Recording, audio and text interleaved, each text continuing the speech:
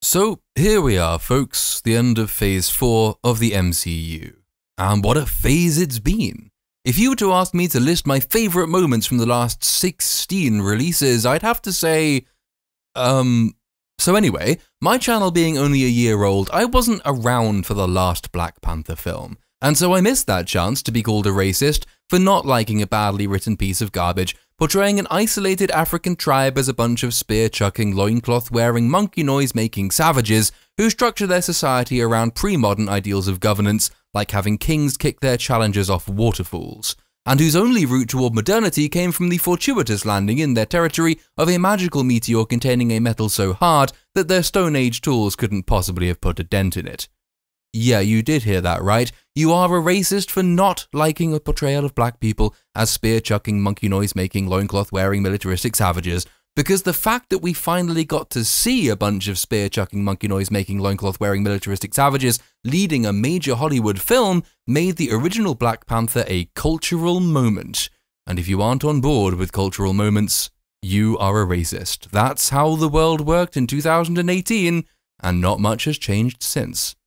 If you dared suggest that, in fact, patronizing a whole rich continent of people in order to satisfy the segregationist wish fulfillment fantasies of African American intellectuals and their white lefty simps might not be a good use of the medium of film, you were also a racist.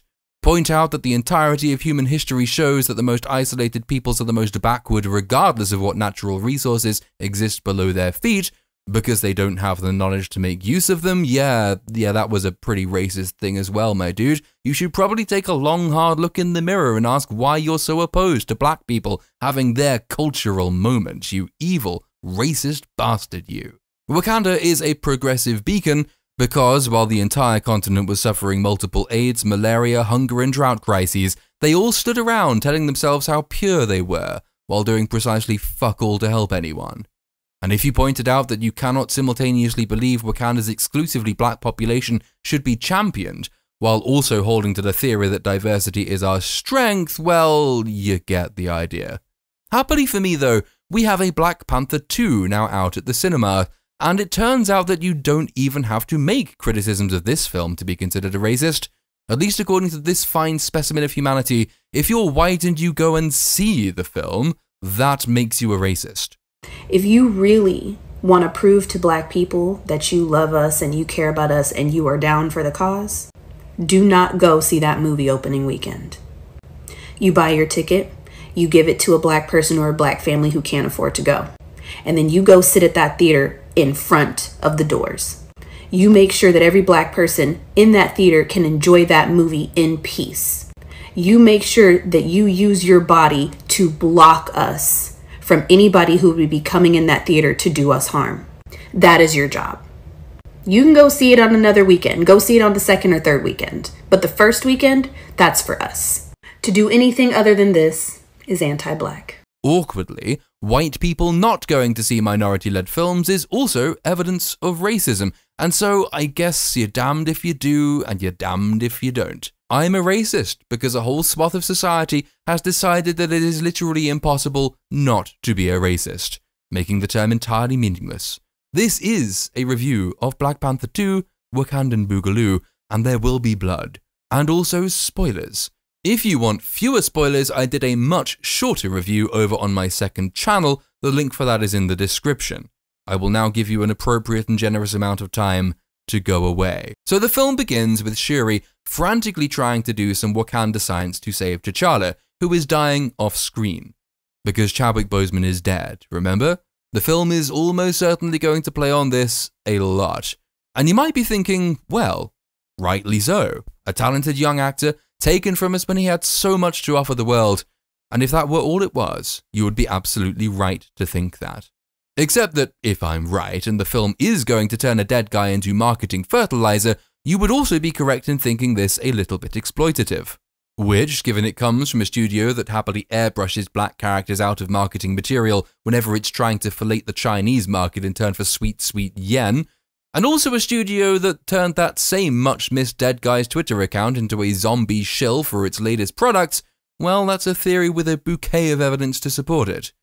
If you are going to base a film off the tragic real life death of a talented actor, then the only way to avoid the charge that you are monetizing cancer is to make it a very good, very heartfelt, very meaningful film. I'm not ruling out the prospect at this juncture. I'm just going to note that Thor Love and Thunder also had the rich tragedy of cancer in its setup, and it used that to create, um, well, Thor Love and Thunder. Shuri shouts science stuff at the computer. That's a tongue twister. Try saying it quickly. And the computer gives her small odds of success. She appears to be attempting to synthesize some version of the magical bullshit goop flower that Killmonger burned in the first film, because this will save T'Challa.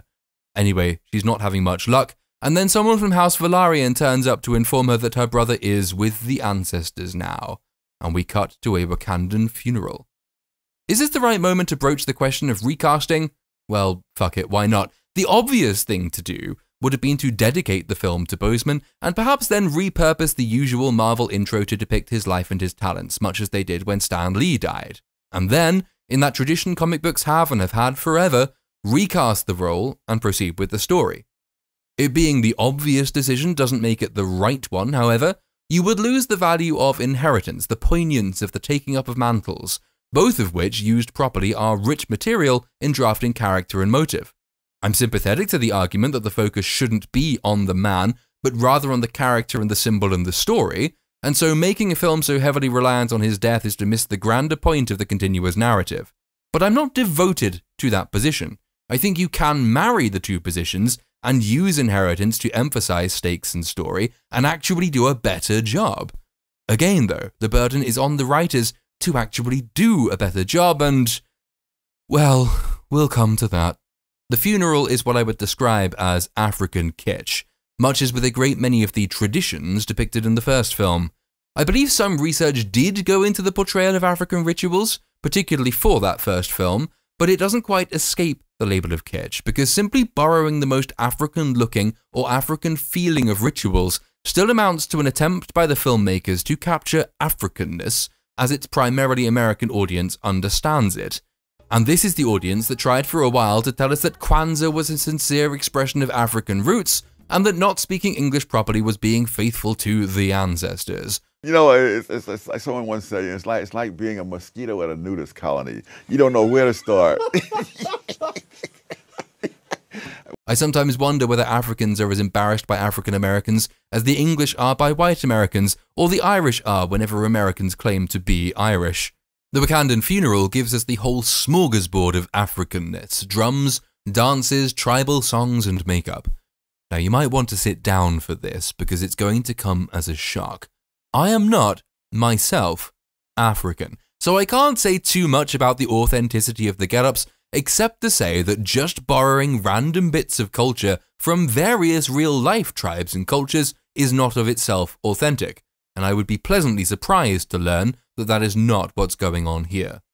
Much of this sequence is shot in slow mo, which, if they keep it up, will go some way toward explaining why this film clocks in at two and a half hours. Slow mo drums, slow mo procession, slow mo smiley and happy people dancing. It's it's a funeral, guys. You might have you might have guessed that from the coffin. All the dancers are cheerful and chipper, all the people in the procession itself are somber and downcast. Is that an African tradition? I, I don't know. We also get a long, lingering shot on a poster of T'Challa, in case you were still wondering how much emphasis was going to be placed on Boseman's death in this film.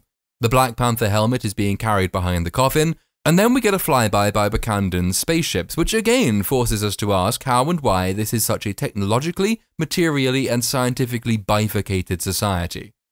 Okay, well, maybe not why. It's quite clear these films want us to take home that pre modern culture and tradition can survive modernity pretty well intact, which is the kind of bullshit you can only believe in if you are yourself a poor, foolish disciple of post modernity.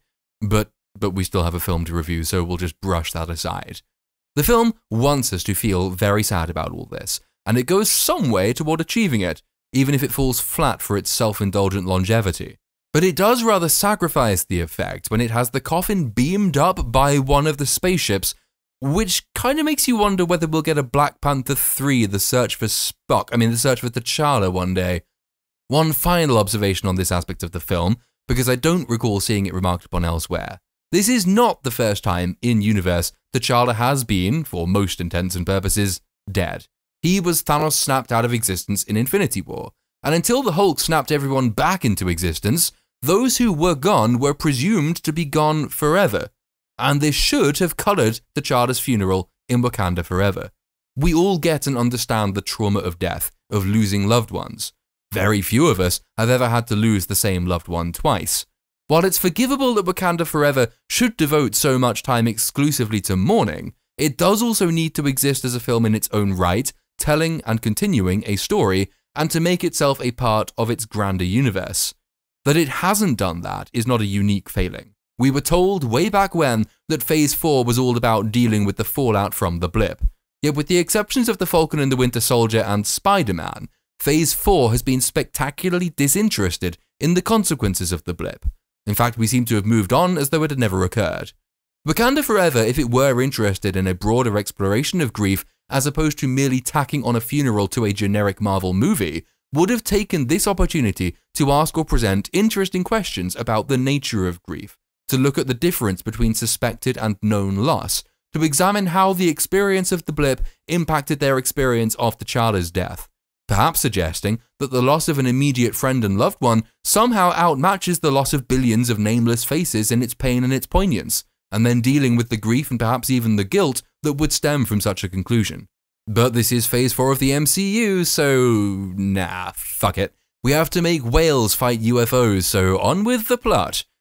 We do then indeed get the Chadwick devoted opening titles, meaning everything I've said thus far has been critiquing a pre credit scene. Better brace yourself then, folks. I think this might be a long one. We flash forward a year later when the Queen of Wakanda, Ramonda, mother of T'Challa and Shuri, has been summoned to a United Nations session where some boilerplate white bureaucrat upbraids her for Wakanda's failure to share resources and to cooperate with the wider world, as it had promised it would do at the close of the first film. Gee, I wonder if we're going to get lessons on whitey hypocrisy. Well, not immediately at least, though Ramonda does explain that Wakanda doesn't share vibranium not because of its dangerous potential, but because of, and I quote, the dangerous potential of you. How is she queen exactly? Don't lines of succession typically go either downward or laterally? The T'Challa had no kids, that we know of, so wouldn't the title have automatically gone to Shuri rather than back up to his mother? Regardless who it went to, at what point can the right to succession by combat be invoked? If Killmonger had waited just a few years, could he have become king just by kicking either an old woman or a small girl off a waterfall? Does anything about Wakanda make sense? Well, no, but it's a very advanced, very civilized, and in all ways superior place, so who cares? We then cut to the Outreach Center, opened by T'Challa at the end of the first film, so I guess this one deserves props for not simply forgetting its existence. Though, and I might be wrong here, it wasn't a very memorable film. But wasn't part of the point and purpose of that center to share Wakandan resources with the world? Did that not include vibranium? If not, then what precisely could Wakanda have shared via the center, given how much of its technology is based around vibranium? If it did include vibranium, how could they possibly have controlled its usage, given a little bit of it in the wrong hands made Ultron? And yet, how is it not already in circulation, given Gollum went in and out on a whim, stealing things and selling them on? And then, if they refuse to share it and they can't sell it because their technology is derived from it, what can they sell? How can they help? How can they afford the cost of helping the wider world? And if they were selling it, at what point would they have run out, given any asteroid made of so hard a metal in sufficient quantity as to provide near endless product would probably have wiped out the Earth on impact? It's almost as if Wakanda makes no fucking sense. We then flit back and forth between a military raid on said outreach center and Queen Ramonda scolding the United Nations for wanting to use T'Challa's death as an excuse to exploit Wakanda against its will. She even mentions that she knows rumors in their military establishments, which leaves you wondering if you knew you couldn't trust the various nations of the world not to invade and steal your magical bullshit metal, why would you leave your outreach center open to attack in the first place? Ah, but then you see, it was all a ruse. It turns out the center is protected by by the um the Dor- Doramel the Dora the Explorers, and as Queenie tells the UN, now is our time to strike, the explorers duly do their striking. Michonne from The Walking Dead has a chat with Discount Michonne while they go about slicing through the soldiers, criticizing her for not having brought her spear with her. Discount Michonne tells Michonne that she prefers her laser daggers that Shuri gave her because she just does, whereupon Michonne channels Shad in giving a passionate argument for why sticks are better than guns and knives. Our own mothers gave us stick. Cause it is precise, elegant, and deadly. He got stick. Good on him, okay? Some time, some distance later, the Dora the Explorers bring the evil whitey soldiers that they didn't slice into pieces into the United Nations chamber. I guess it's just been in permanent sitting for the entire duration of their trip in order that Ramonda can threaten the United Nations with war if they try that shifty shit again. We then jump away to the Atlantic Ocean, where a ship sends some submarine scientists down to the ocean floor to inspect a drill that has, um, it's found some vibranium. They have a vibranium detecting machine. Lead scientist woman pointedly says it's the only one we've got, which I'm sure will be very relevant later. But you might be thinking, hold on a minute. I thought the world's sole source of vibranium was the Wakandan meteor. Now you're telling me there's more of it? How much more of it? Where? How, to begin with? If it's under the water, why hasn't James Cameron found it already? How did they build a machine capable of locating it? Who built a machine capable of locating it? Why is there only one such machine? How, given the vibranium wrecks the drill bit on their very advanced piece of machinery, did the first Wakandans manage to mine it with Stone Age tools? By the way, if you were about to answer any of these questions with, well, it's in the comics, no, fuck off and go away. The MCU and the comics universe are not the same thing. The comics are far from a reliable guide anyway, as we are about to see. These questions and their consequences will have to be accounted for by the MCU, preferably in this film. They have significant connotations, some of which we will come on to in a moment. Otherwise, though, we've just invented another source of vibranium and a random one off contrivance machine solely as an excuse for the plot to happen, and we will come back to that in a moment as well. For now, one of the underwater scientists gets distracted by a pretty jellyfish and so misses that her colleague has just been torn off his lifeline by some unseen foe. Then she gets killed off screen. Above the waterline, just just bear with me here and remember that this film is a sincere and heartfelt tribute to a much loved and dead actor. Some Aztec mermaids appear and sing the guards on the ship into committing suicide, though their song courteously holds off having its full effect long enough for main scientist woman and chief CIA man, it's a CIA ship by the way, to put in earplugs. Now, as usual, I'm going to try and make sure to compliment the film where it deserves compliments, and this scene does eerie well enough. It feels sinisterly enchanting, largely through its sound design and its lighting. It's quite well shot. Mermaids tricking sailors with song is quite a long established characteristic. Aztecs doing it though, ah, uh, not a thing as far as I'm aware. Why am I calling them Aztec mermaids? Well, because Namor, the villain of this piece, to whom we are shortly to be introduced, has been race swapped. We need you to act like a Middle Eastern terrorist right away. There's just one problem. I don't look Middle Eastern. Leave that to us. Even the Atlanteans aren't safe from the race swappers, though the motive in this case would appear to be that Marvel feared an Atlantean villain would clash too much with Aquaman. This at least has been cited by Shillrant, I mean Screen Rant, as a primary reason why the race and history swap was a good idea. Though I can't help but note that if we're now in the position where Marvel is looking so fearfully over its shoulder at what DC is doing, it's because the quality chasm between these two studios has decreased rapidly in the last few years. And DC has not got very much better in that time, which should tell you all you need to know about the MC's phase long nosedive. Anyway, the Merman attack the ship, and head scientist woman calls in a strike team. She and chief CIA guy run away and get accosted by the Merman, whose physical design isn't quite up to the sound design of their song. The shark like headpiece one of them wears puts one in mind of the Flying Dutchman's crew in Pirates of the Caribbean. Otherwise, they're blue? That's their most distinctive characteristic. She shoots at one of them, and by that I mean she, she really does shoot at him. She shoots at him a lot, as in, she basically empties a magazine at him, or would have if her pistol didn't have unlimited ammo. She fires at any rate a good number of rounds, and he doesn't die. Armor, you might think? Well, no, no, no. He's not really wearing very much of that. Bulletproof skin, then? No, no, it's it's not that either. Because as she runs to the chopper, she shoots a number of them, and they do indeed, at least seem, to die. Meaning the one she was closest to, the one standing still, right in front of her, not more than a few feet away, got hit seven, eight, or even nine times, conveniently in his little piece of armor, while all the rest of them were unlucky enough to get hit in the 85% plus of their body that wasn't covered by armor. Meaning essentially that she was aiming for the one place guaranteed not to kill him. And he looked quite an important guy, meaning her failure to kill him could end up being very important indeed. She makes it to the chopper, which takes off. Kind of lucky the pilot had just been sitting there for hours with his headphones on, otherwise he'd have got tricked into the sea by the merman.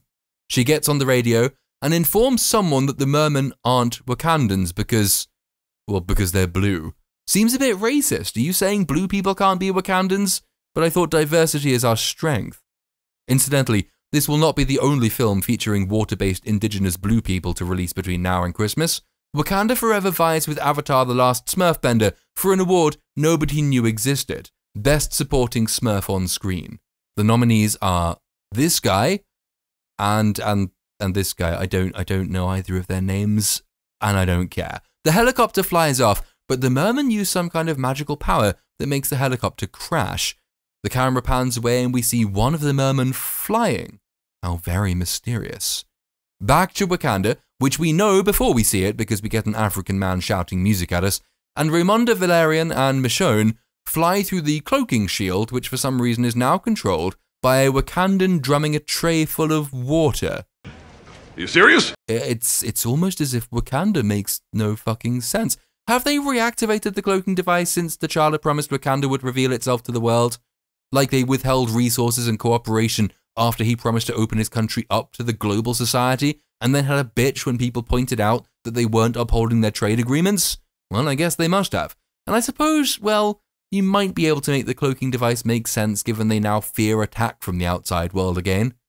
Shuri is doing more science. She's designing new exosuits for the Wakandan army. Evidently, she's finally decided that magical cloaks and spears might not befit the army of a hyper advanced civilization that aspires to the title of and indeed calls itself the most powerful nation on Earth.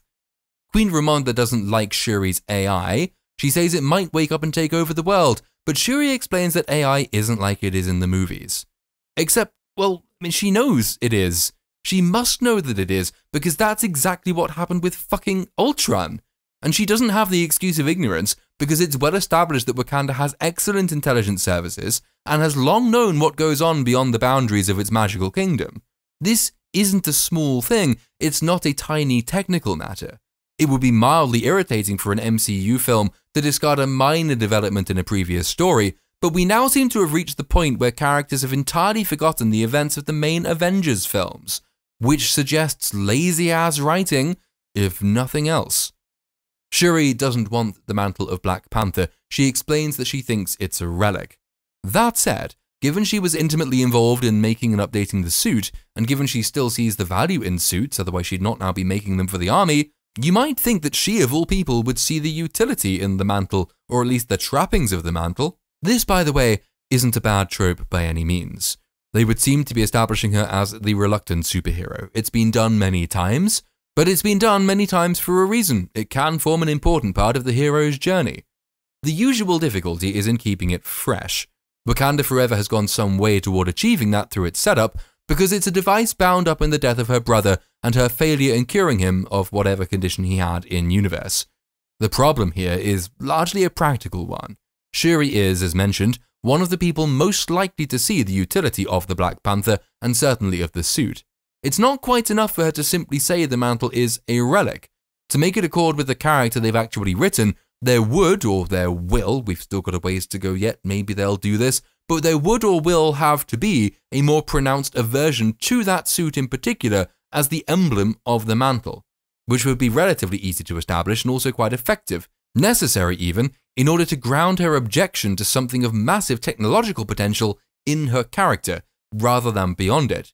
The film wants to tell us that she has no time for tradition. It does not want to tell us that she has no time for technology. In rejecting the Black Panther suit, she is rejecting technology, whereas if it were simply tradition she was opposed to, she shouldn't have a problem taking the suit and divorcing it from the traditional mantle.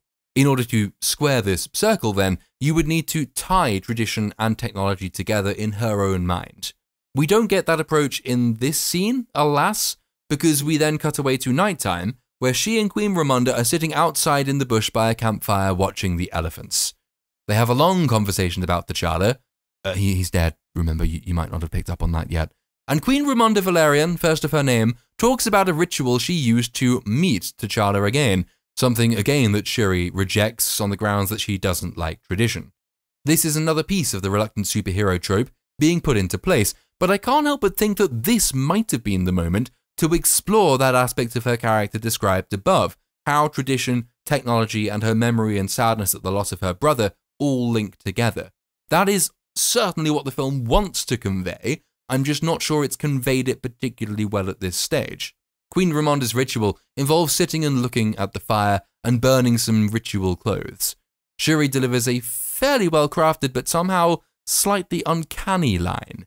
She says that if she sits and looks at the fire too long, it won't just be the ritual clothes she burns, it'll be the world. And, well, it's a powerful line, but I think the film risks being a bit presumptuous. It's basing an awful lot, the entirety even, of its emotional force in the death of a real world actor, channeled through the in universe death of a character. The real world death of the actor is, of course, a tragic thing, but these two worlds are separate. It's not easy to bleed one into the other. I'd be willing to bet a large number of the real world audience registered Boseman's death, but didn't feel it as any kind of familial loss. It was a sad thing that did happen. For the cast and the writers, it evidently was a deep loss indeed. But you can't perfectly transpose the personal loss of people who knew and worked with Boseman into the audience's response to the death of a character off screen. Black Panther the character was, as I said in the video on my other channel, cool enough. He had his moments. To people who bought into the first film's cultural moment and who did see him as an icon, well, yeah, sure, the character's death would have a more than usual impact, but we are still forced to remember that in the grander context, the Black Panther was a late arrival, with a sole dedicated film that had quite particular appeal, and without a huge amount of consequential screen action, or time to engage in the relationships we're here being asked to inhabit. So, sure, on an intellectual level, the audience member can understand the reactions of these characters, but the film seems not so much keen that we feel everything they feel, but rather to just assume that we do. Only if that assumption is correct can we really invest in scenes like this or make sense of lines that sound so drastic as Shuri's about burning the world. And with all respect to the late actor, his friends, and his colleagues, I'm really not sure that our own relationship with the character is strong enough for the film's desired emotional weight to impact us as the film wants it to. The sense of loss, of an absence in the universe that followed Tony Stark's sacrifice, and it didn't need screenwriters dialing the emotion meter up to 11 to emphasize the point. Because, as the best established and generally best loved character, the franchise totem, his absence spoke for itself. The T'Challa's doesn't to the same extent or in the same way. In any event, this is a Marvel film, and even a lament can't be allowed to go on too long without being interrupted by stuff. So we get a weird noise and a scared elephant, and then we're introduced to Namor, who floats out of the water on little winged shoes? Or are those wings? No, they're wings from his ankles. He has little white wings on his ankles. Much has been made of Namor's race swapping, and the race swapping of his people, and we might come back to that presently. For now, I have to point out that a not especially shapely man of not ever so imposing height, played by a not all that intense actor who emerges from the water wearing a green nappy with little white wings on his ankles doesn't make for a particularly imposing villain at all. Curiously, and as we'll see later, he appears to have worn the green nappy since he was a child. Absolutely no change in outfit at all over the course of several centuries. He's probably got barnacles on his balls. Namor wants Wakanda's help because T'Challa revealed vibranium to the world, even though Queen Ramonda said earlier that they weren't sharing it with the world, and that led American scientists to develop the machine that detected vibranium beneath his people's domain. Ramonda says vibranium only exists in Wakanda, but Shuri points out that he's wearing it, so nah. This, of course, doesn't answer any of the questions I posed earlier, it simply invites us to ask them again. How? Where? Why? With the additional question, how is Namor here? How did he find Wakanda, given the film has shown us that it still cloaks itself, even though T'Challa said that it wouldn't? How did he get through its magical bullshit security field? Is that why the film randomly decided to have its cloaking device controlled by banging a tray of water, just so this Aztec mermaid could float through it uninterrupted? Because water? Also, how did he float up to precisely this spot at precisely this time to find Ramonda and Shuri preparing to ritual trip? What if he turned up a mile away or an hour ago? Anyway, he asks for their help in finding the American scientist who made the machine. Given this film's setup was that Ramonda in particular is keen that vibranium not get out into the wider world, you would think this point of acutely important shared interest would, well, interest her. But instead, she just has a bitch about him turning up uninvited, so he threatens to invade with his massive armies. Now, look, I know we're all pretty much deaf to this kind of thing by now, because we're so used to it. But this is not how people speak. This is not how people interact. This is especially not how people speak or interact if the premise of your film actually makes cooperation between these two peoples the most plausible thing to do. The goal is clearly to get Atlantis, uh, I mean the Aztecs, and the Wakandans fighting. But if that's your goal, you either set up the film with a direct line to that point, or else you take care to work from the existing premise to that conclusion. Simply having Freaky Fish Guy here pop up in the middle of the night and threaten to invade because the Wakandans stupidly refused to listen when he outlined their shared concern, well, that's just contrived. It's the least plausible of all possible outcomes to their brief exchange, except insofar as it's the most convenient one for the writers to take, in which case it only makes sense if you assume that the writers are shit. That is a safe assumption, but it's not really one we should have to make. Having threatened to invade them, Namor then gives them a seashell and tells them to blow into it when they have the scientist. He asks them not to tell anyone outside Wakanda about him, and then he leaves. Though when they turn around, they find that a great big old CIA machine is just sitting on the beach next to them.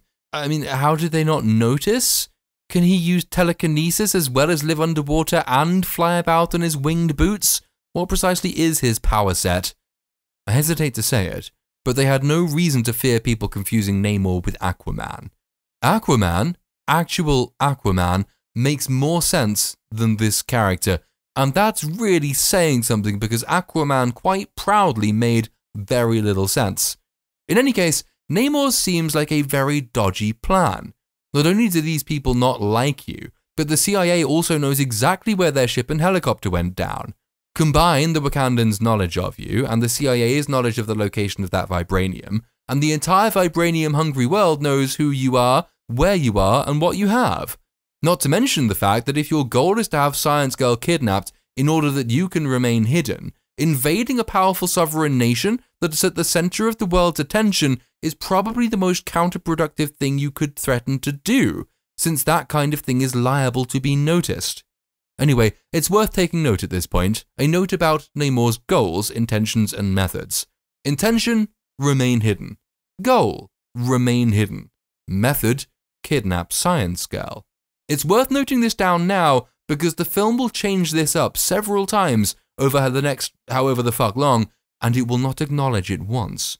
The day or morning after Queen Ramonda calls the council, where M'Baku and Michonne trade insults, and then everyone has a perfunctory debate about what to do.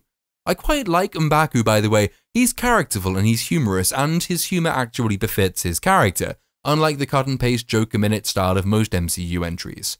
He also refers to Namor as Fishman, which is a name I'm basically using already, and he calls Michonne a bald headed demon, which is also quite funny. They all seem to take Freaky Fish Guy's word about his massive armies, but M'Baku, portrayed as a bit simple and boneheaded, nonetheless asks the most pertinent question. If they do what Freaky Fish Guy asks, what would stop him coming back and asking for more? But we don't get an answer to that yet, because we're back in the science lab where Michonne and Ramonda find Shuri playing about with the CIA machine, which she confirms does indeed work. It can detect vibranium. Michonne raises the how is there more vibranium question again. Shuri reasons that there was probably just another vibranium meteor that landed in the sea. Um, it, no, that that no, that still doesn't really answer most of the important questions. And in fact, it invites yet another one. How many vibranium meteors are out there in the galaxy? Is the asteroid belt just full of them? How many have crashed on Earth over the years? If it's multiple, the odds of it remaining undiscovered shrink. Have they landed anywhere else? Does anywhere else in the galaxy now have access to vibranium? This planet now has ready access to space and apparently a device capable of detecting vibranium. If it's just floating around out in the asteroid belt, what's to stop someone building another device? Remember, though, for plot convenient reasons, there's only one of them at the moment, and mining some off planet. Vibranium proliferation has profound consequences for the galaxy, for this planet, and especially for the Wakandans. The film is ever so slightly aware of the consequences for the Wakandans, but it doesn't really seem to have truly appreciated their extent. This affects the entire existence of Wakanda, the only thing they have to their name, the only thing that makes them notable at all to the rest of the world. Well, besides rhino milk, obviously. If vibranium is found elsewhere, they are completely and utterly fucked as a nation. And yet, at the moment, the only question that even occasionally occurs to someone to ask is wait, how have we just destroyed the setup to the first floor? Oh no, I mean, sorry. Wait, tell me again how there can be more vibranium? Michonne just moans that the fable she heard as a kid might now be incorrect. I think there are more important things at stake. Michonne and Shuri then bugger off to meet Bilbo Baggins with Ramonda's permission, Shuri's favorite colonizer. Bitch, please, if you'd been colonized, you would not be sticking vibranium in fucking spears. Michonne tells Bilbo that they're looking for the scientist who built the vibranium detector, assuming from the off that he would know, which leads him to say that it was the Wakandans in the Atlantic, was it? They deny Wakandan involvement, of course. They have an argument with Bilbo, and Bilbo tells them that there's only one kid in the world capable of building the vibranium scanner thingy, which the CIA presumably just stole while leaving its inventor free and unguarded. So Michonne and Shuri go off to kidnap a girl from school. They have an argument about who is best placed to infiltrate the school and kidnap said child, because for all their complaints about colonizers and whitey pillaging ancestral African homes, the Dora the Explorers are basically the CIA with less oversight. The Dora Milaje have jurisdiction wherever the Dora Milaje find themselves to be. Which makes Wakanda a fucking terrifying prospect for people of all places and nations. Honestly, at this point, would you bet against the Dora the Explorers drone striking American weddings? It'd be fine, though, because Black Power, because Whitey did it, because America's no better, because drone strikes are the voice of the unheard, because colonialism, because imperialism, delete as expedient. Shuri looks like a child, sounds like a child, dresses like a child, and basically is a child, so she's the one who gets to infiltrate the school. She immediately knows where Child's dorm room is, and Child immediately recognizes her as Princess of Wakanda, meaning I'm once again compelled to ask just what Wakanda's relationship with the rest of the world is. It opened up in the last film, except that it was closed again at the beginning of this one. It remains highly secretive, yet its minor royalty are immediately recognizable to American teenagers. It doesn't trust the rest of the world, yet it happily sends its secret agents to carry out often violent missions, and in this case abductions, in the rest of the world. It is simultaneously the last and only undespoiled African paradise, yet it is also incredibly limited and at the same time unlimited in its international agency. It's almost as if Wakanda makes no fucking sense. It turns out Schoolgirl, whose name is Riri Williams, didn't make the detector for the CIA, she just made it for a school project. Her professor said she'd never be able to do it, and if this film had any regard for internal consistency, the professor would have been right. How can you make a vibranium detector without access to vibranium against which to test it? How does this school even know what vibranium is, given the Wakandans don't share it and don't like talking about it? How does this schoolgirl know the first thing about the properties the machine is supposed to be detecting? But it's fine because she says she is gifted and black. You fucking go, girl. You slay, queen. We was science majors, etc. Shuri explains that the school is no longer safe for her, which, given Bilbo was talking about other nations taking an interest in her, should also have been the CIA's conclusion some time ago. So why is she still in school? Why did the CIA presumably raid the science lab to pinch the school project, but not conscript the person who built it? They must have known about her, her talents, and her potential, otherwise, why would they have stolen the machine she built?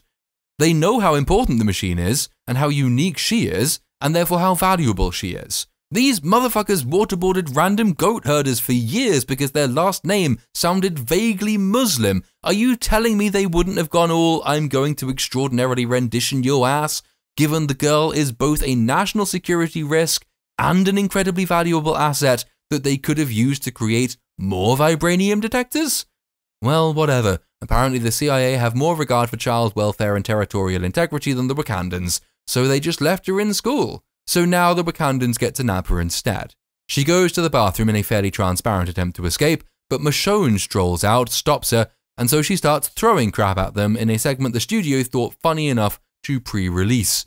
It's not especially funny, the acting is a little bit cringe, but it has one redeeming moment. Shuri deploys reverse psychology and tells Michonne that Riri Williams can definitely handle that merman with the winged ankles who wants to kill her, and Riri's response is a disbelieving. What?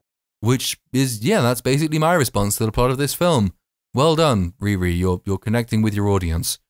Incidentally, the film does what a huge number of disproportionately Marvel films do in telegraphing allegiance. You and I know that the Wakandans are the good guy, and well, actually, no. You and I know they're a bunch of supremacist shits, but we know the film thinks they're the good guys. We also know that Riri Williams here is supposed to be a good guy. And because we know that all these people are good, the film skips over them actually discovering that about each other. As Williams goes from being threatened by Michonne to threatening to throw something at Michonne to slagging off Michonne's non existent haircut, which is played for laughs. Yeah, it's an MCU film, yeah, sure, okay, fine. We have to get that joke quota in, but this kind of telegraphing, this filling in the character's lack of knowledge with the audience's foreknowledge, just grates. Oh my god, you're gonna kidnap me! Lol, you have no hair, let's be friends, is not good character writing. Characters have to build relationships. Crucially, they have to build trust. This is especially true in the case of Riri Williams, as she's established neither of these things yet and is, but for her inexplicable recognition of Shuri, being faced with two factions, soon to be three when the FBI shows up, who want to kidnap her for unstated and possibly nefarious purposes. If the film were actually interested in Williams as a character, this is the most fertile ground to begin building that character. But as we'll go on to see, the film isn't at all interested in her as a character, it just wants her in this film as a prop. So they go to her garage workshop. What the film is trying to do here is fast track a relationship between Shuri and Riri Williams by making them basically the same character, or functionally the same character anyway. Riri does science stuff, just like Shuri. Riri is a computer whiz, just like Shuri. Riri is building mech suits, just like Shuri. Again, it's like poetry, so if they rhyme. Mm-hmm. Shuri presciently points out that it's a bit weird to be working on this hyper secret stuff and just leave your laptop unattended in a garage, which it is, if you believe that what you're doing is top secret and of interest to foreign governments. Which Riri supposedly doesn't, having just finished telling us that she only cooked up the machine for a school project. She does have some kind of mega encryption on her laptop, but that's basically it. So she simultaneously acts as if she's half aware of the significance of her work, when it's convenient, but is otherwise a perfectly normal kid with no such understanding? Oh well, rightio then. Shuri's AI friend then chimes in to inform them that American law enforcement has arrived. Riri is extremely miffed by this, and they have a brief argument in which Michonne unironically uses the term popo to refer to the police. Cringe. But Shuri compels them to work together and get out of the pickle they are presently pickling in. Riri has an old muscle car. Hmm. Muscle cars? Tech wizard? Builds flying mech suits? I wonder who she is going to turn out to be. You're right, she's the red Power Ranger. We finally have Power Rangers in the MCU. Or is it that gay transformer nobody remembers? What's that you say? all Transformers are gay and Gundam is cosmically better in every conceivable way? Well, you said it. Either way, crossover event of the century. People will rightly hail this as the best MCU film since Love and Thunder. Probably better than Infinity War, even. Who needs the X Men when you have a gay Transformer? Michonne escapes in the muscle car while Shuri takes a motorbike. The CIA is tracking the chase with a drone, but since Barack Obama isn't flying it, no civilians get killed. Riri Williams, hereafter referred to as Iron Child, flies up, takes out the drone, and then runs out of oxygen and faints, putting her into a freefall. Remember Iron Man? I remember. I remember. Origin stories are so much easier if you can just copy paste existing material into nominally new characters. She recovers at the last second and pulls out of the dive, just like Tony, and then her suit gives out and she crashes, just like Tony. But before they can get to her, a water grenade lands on the road, and Shuri and Michonne crash. Well, I mean, I guess that's new. Then, uh, and you will have to, to bear with me here, thankfully they've shown little bits of this in the trailer, so, so hopefully if you see it, you'll believe it. Anyway, then a troop of mermen leap out of the water on the nose of a killer whale and confront Michonne. I suppose this explains what one cringy shill media site described as their indigenous rage. They were evidently colonized by SeaWorld, and they've learned all the tricks. An Aztec mermaid runs back to deal with the police that parked behind them. The police, who presumably just saw them jump out of the water riding whales. The police, who presumably just saw them use water grenades to blow up fleeing vehicles. The police, who can clearly see that the mermaid is armed, yet as she runs at them, the only remark one of them thinks it worth making is, Hey, is she blue? Why, yes. Yes, she is. She's also armed, and she just leapt off a fucking whale. She's clearly coming to kill you. Do you not think a policeman might have remarked upon anything else? I'm reliably informed the police empty whole magazines at the backs of black people who looked at them funny, but in this state, apparently they just make mundane observations and wait to be killed. We've already had the there blue observation earlier in the film. Besides making the scene vaguely and unintentionally comical, just what the hell was this supposed to accomplish? But Mermaid kills the police while Michonne beats the shit out of the remaining mermen. But they recover, the implication being by some kind of Aztec magic, one of those incredibly useful but undefined powers you can be pretty sure won't pop up later when it would be just as useful. And then she has a fight with Head Fish Guy, or Fish Head Guy if you prefer, who steals her spear and twats her in the head, then knocks her into the water with another of those water grenades. Shuri then intervenes and demands to be taken to Namor, thus saving Iron Child's life, so the mermen kidnap both of them, even though their mission was to kill Iron Child, and they don't profit at all from letting her live. Michonne tries to swim after them, but she can't catch up because she's not a fish and black people can't swim. No, no, no, no, it can't be racist. I read it in The Guardian. It's a thing. Honestly.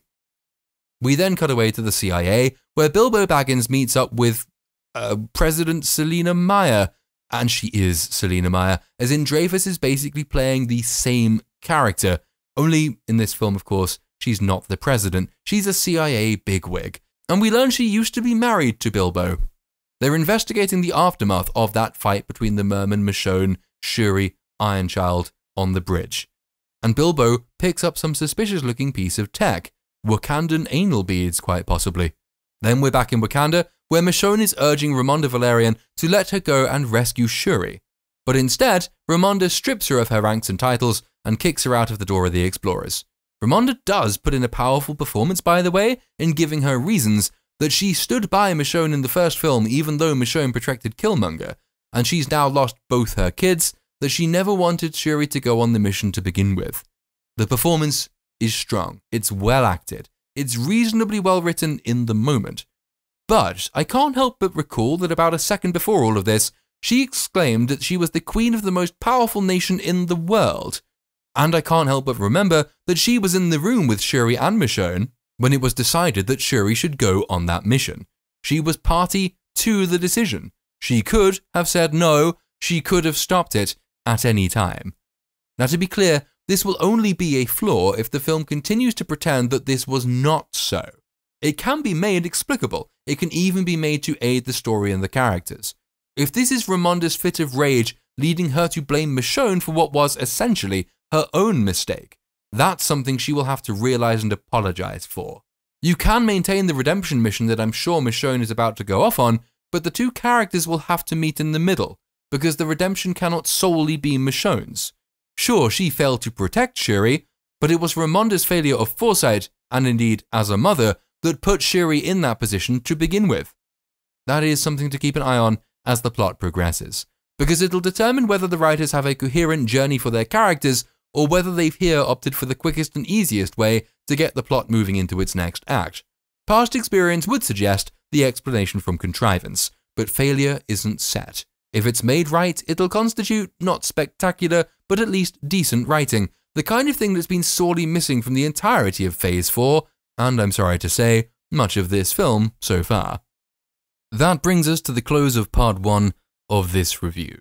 As some more regular viewers of the channel will already be aware, I've just taken on a very exciting but alas super secret, legally secret writing project. So I've split this review up, it was going to be over two hours long, into segments, probably no more than three, in order that I can get stuff out while still having time to work on the other project. My plan is to get parts two and three up over the course of the next week, a fortnight at most. It will be with you soon enough.